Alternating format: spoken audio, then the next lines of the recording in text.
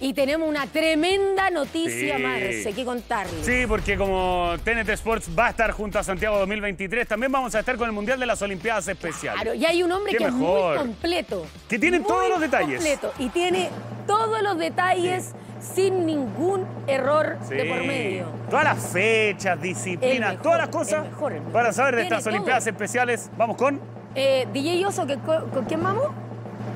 Hola, Juan Carlos. Juan Carlos San Martín, con toda la información. Muy bien. ¿Cómo eso de que dijiste que me gustan los completos? En- No, yo dije que eras muy completo. Eso dije. Un hombre muy completo. Perfecto, Sí.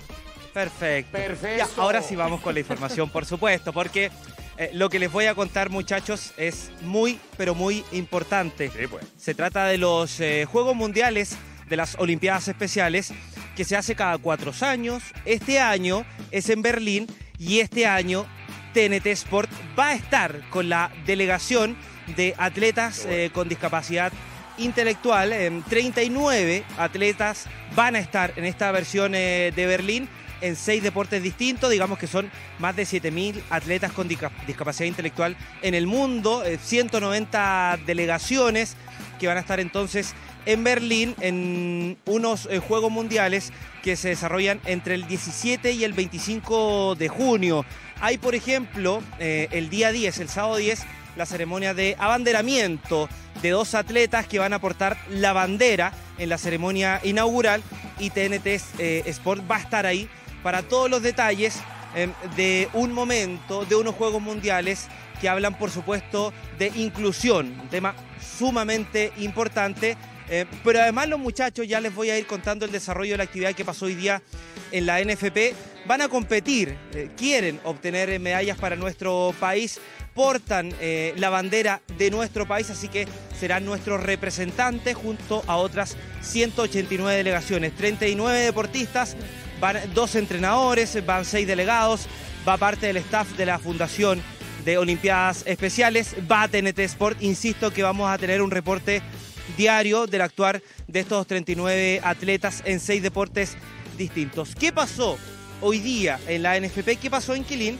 Eh, hubo una actividad eh, con el equipo de futsal que va a estar representando nuestro país junto a Pablo Milat, que le- les hizo entrega de la indumentaria para participar de estos Juegos eh, Mundiales.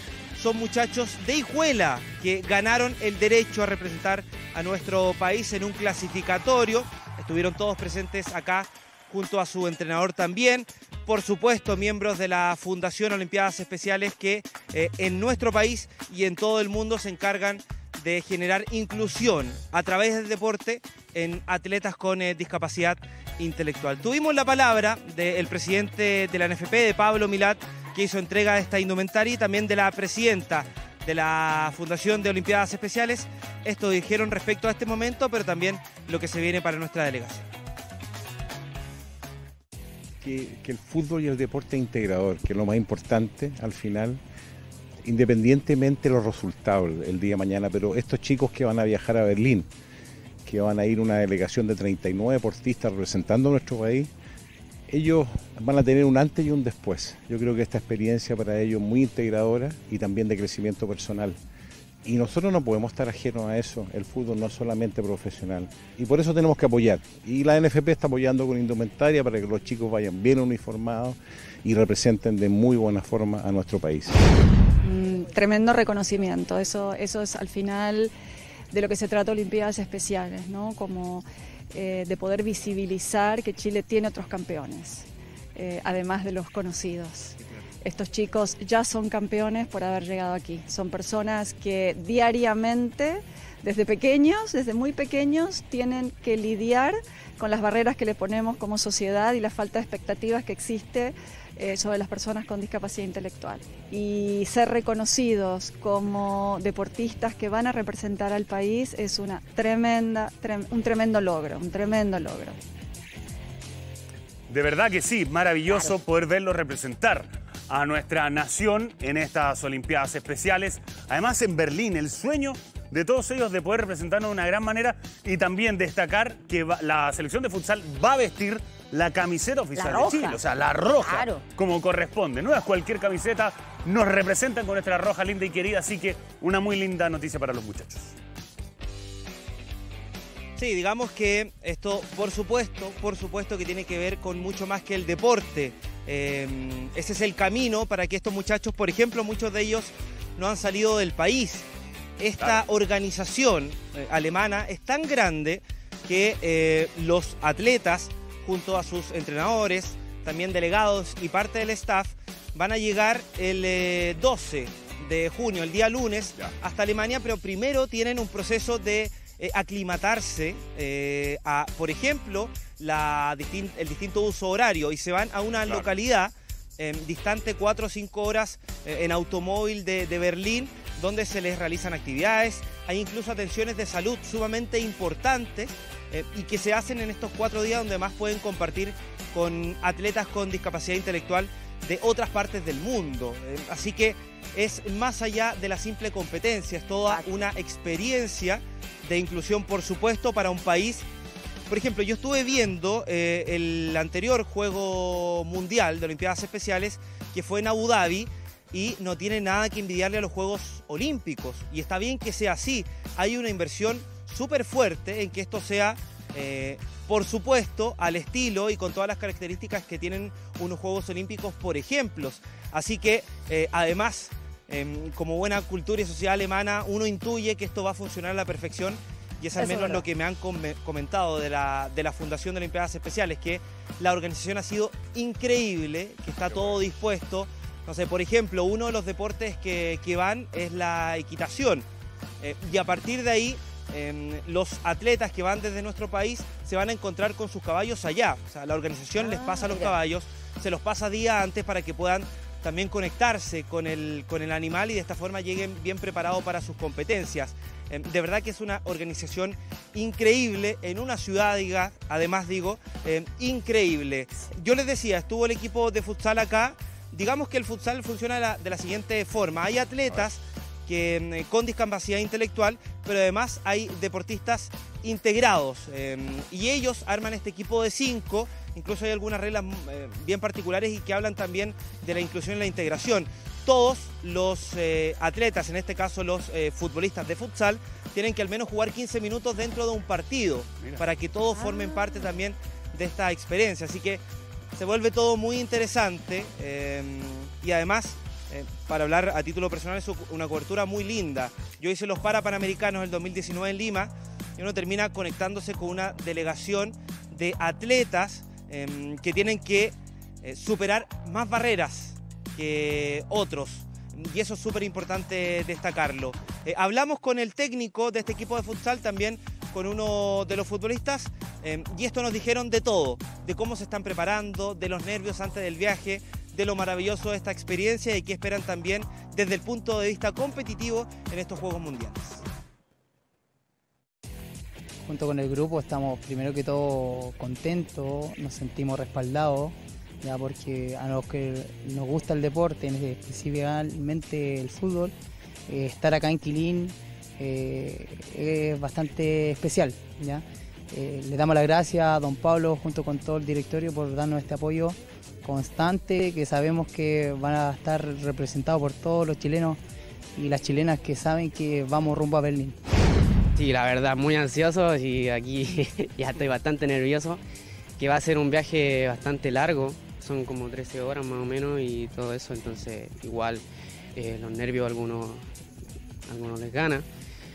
Pero eh, lo ideal es ocupar este nervio como una, como una motivación, una motivación para seguir dándole eh, y traernos la copa, las medallas, todo lo que sea, que a eso vamos. Eso, esa, es la actitud, esa es la convicción que se puedan traer, obviamente, la copa, las medallas. Y si es que es así, esperemos que estén aquí en pelota parada con esas copas y con esas medallas. Juega además, en, esta, en este Mundial de las Olimpiadas Especiales, ¿qué otras disciplinas van a participar? Por ejemplo, los chilenos, ya nos hablabas de la equitación, obviamente del futsal, recién estábamos viendo también cómo Pablo Milat le entregaba la roja a quienes nos van a representar en Berlín. Sí, digamos que el que hablaba ahí era Martín. Él es un deportista unificado. Él juega de central. Em, ahí creo que son cuatro deportistas unificados. El resto son atletas con discapacidad intelectual. Y ahí se arma este equipo que va a enfrentar el futsal eh, entonces en Berlín. También, por ejemplo, hay tenis, hay equitación, hay básquet 3x3, digamos que para todo esto se, hizo un clasificatorio. También va el hockey césped, eh, no de forma competitiva, eh, es como, esto es como una prueba para que en el futuro el hockey también sea integrado como uno de los eh, 26 eh, deportes dentro de estos eh, Juegos Mundiales de Olimpiadas Especiales. Digamos que estos deportes eh, no son deportes adaptados, o sea, esto es lo mismo que, que pasa, por ejemplo, en los Juegos Olímpicos. Se hace la homologación de alguna forma para que sean incluidos en estos Juegos Mundiales. Pero yo insisto, esto tiene que ver mucho más eh, con el deporte. Van a viajar, por ejemplo, algunos padres también de algunos atletas eh, para acompañarlos. Obviamente no, no, están, no son parte de la delegación. Acá hay un hotel en, en Alemania que recibe a toda la delegación completa. Ahí van a estar los atletas, van a estar sus entrenadores, van a estar lo- los delegados, que son los delegados de cada uno de los deportes que van a participar. Eh, al menos eh, Chile va a participar en estos Juegos Mundiales. También está parte del staff de, esto, de las Olimpiadas Especiales. Nosotros también vamos a estar ahí con cada uno de los, de los atletas. Entonces son nueve jornadas eh, maravillosas, además en puntos neurálgicos de Berlín. En el Estadio Olímpico de Berlín, por ejemplo, se va a desarrollar el futsal. Eh, en, en Alexanderplatz, otro sector icónico de Berlín, se van a desarrollar otras actividades. Son tres lugares distintos dentro de la misma ciudad que va a estar de verdad paralizada. Son más de 7.000 atletas.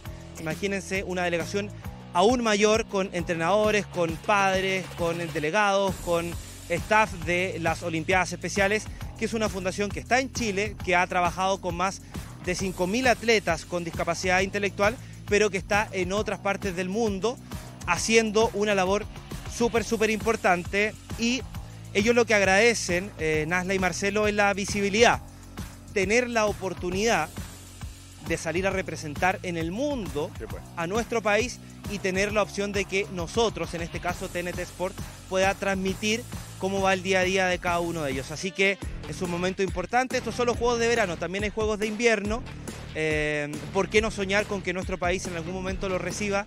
¿Por qué no soñar con que nuestro país, más allá de estos Juegos Mundiales, pueda recibir, por ejemplo, una Copa América de Fútbol más adelante y que reciban el apoyo integral? Porque esto necesita de apoyo integral. Exacto, y por eso también la comunicación es tan importante, por eso que podamos transmitir, ser el canal oficial de este Mundial de Juegos Olimpiadas Especiales es tan, tan fundamental y por eso me tiene contenta también esta noticia. Ahora, Juanca, tú tuviste la posibilidad de estar, por ejemplo, en los, jue- en los Juegos para Panamericanos en, en Lima. Ahí cómo se vio la vara, cómo quedaron los chilenos también, y pensando no solo en, en este mundial, sino también en lo que se viene pronto por las pantallas de TNT Sports, que son eh, lo- los panamericanos y los parapanamericanos Santiago 2023. Sí, yo lo, que- lo que he visto es un crecimiento eh, muy grande, por ejemplo, eh, la cantidad de representantes. Hoy hay más que nunca, 39 son los representantes que van, si mal no lo recuerdo, eh, pero ha ido solo en crecimiento. Lo mismo pasó en los Parapanamericanos de Lima, con extraordinariamente buenos resultados, con la mayor delegación en la historia de los Parapanamericanos. eh, y probablemente, bueno, obviamente ahora van a haber muchos más con la condición de localía de estos Parapanamericanos. Así que el crecimiento es increíble. eh, y respecto a, la- a las Olimpiadas Especiales, eh, destacar el trabajo de esta fundación también, porque eh, va una delegación grande, una delegación importante, eh, con todo lo que necesitan para desarrollar bien el, deporte. Déjame destacar algo más. Eh, El equipo de futsal es de Hijuelas. Ellos se ganaron el derecho a representar a nuestro país eh, y me han comentado que desde el municipio en Hijuelas siempre han tenido todo el apoyo para desarrollarse, para entrenar, para conseguir una cancha donde poder eh, practicar.